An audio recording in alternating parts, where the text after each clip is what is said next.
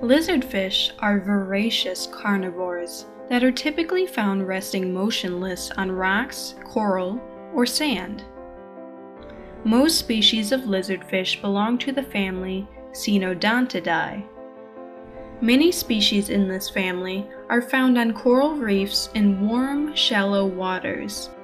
On the other hand, deep sea lizardfish in the family Bathysauridae can be found inhabiting the seafloor at over 8,000 feet below the surface.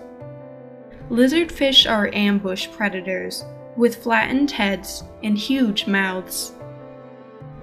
They will wait for prey while partially buried in the sediment or while propped up on their pelvic fins. When fish or small invertebrates come by, they will strike.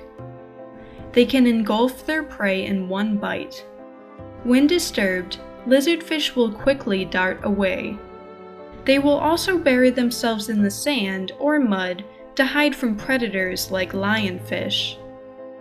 Most species of lizardfish have separate males and females. The females' eggs are scattered in the water and they do not guard them.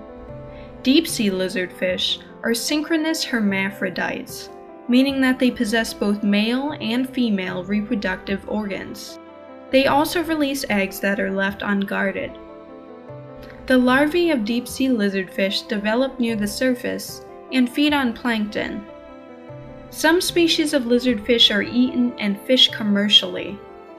However, many non targeted species are frequently caught as bycatch in shrimp trawls.